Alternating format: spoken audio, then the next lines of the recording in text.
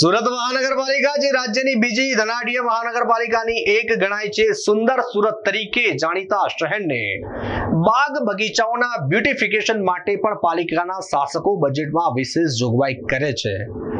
સવાલ એ ઊભો થાય છે કે બાગ બાગ બગીચા તો છે જ, પરંતુ બાગ બગીચાઓની જાળવણી પર ધ્યાન અપાય છે ખરું? જેનું જીવંત ઉદાહરણ જોવા મળ્યું સુરતના બ્રિસ્તાન વિસ્તારમાં આવેલી ગાર્ડનમાં કે જ્યાં એશિયાની સૌથી મોટી ઘડિયાળ આજથી અગિયાર વર્ષ પહેલા શરૂ કરવામાં આવી. પણ જાળવણીના અભાવે તે બંધ હાલતમાં જોવા મળી રહી છે. ડાયમંડ અને ટેક્સટાઇલ સિટી તરીકે જાણીતું સુરત શહેર કે જે ઘણા નવા અને અવનવા પ્રોજેક્ટોની પહેલ કરવામાં પણ તેના નામની જેમ નંબર વન રહ્યું છે. આ શહેરમાં એવા ઘણા બધા પ્રોજેક્ટ ખુલ્લા મુકાયા છે જે રાજ્યમાં પહેલા છે અને જેના કારણે શહેરના નામ પણ વધ્યા છે. અગિયાર વર્ષ પહેલા એટલે કે એક મે બે હજાર દસ ના રોજ શહેરના બેસ્તાન વિસ્તારમાં ખુલ્લો મુકાયો હતો.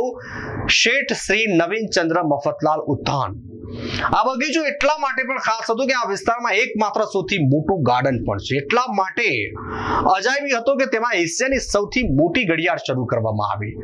શેઠ શ્રી નવીન ચંદ્ર મફતલાલ ઉદ્યાનમાં બનાવેલી આ ઘડિયાળ એશિયાની સૌથી મહાકાય ઘડિયાળ છે. ચોવીસ મીટર ડાયામીટર ધરાવતી આ ઘડિયાળનો કલાકનો કાંટો ઓગણચાલીસ ફૂટનો છે.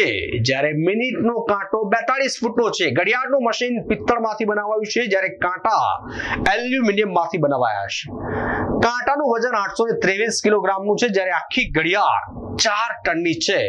અને અત્યારે હાલ આ ઘડિયાળ ખખડધજ હાલતમાં છે.